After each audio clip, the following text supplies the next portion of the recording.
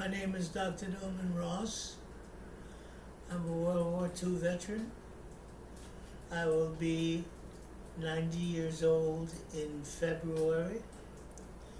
Uh, I flew 60 combat missions on a B 24 Liberator in World War II. I have been awarded two Distinguished Flying Crosses and 11 air medals. And I've been a number in a number of uh, Broadway musicals in my community, this senior community.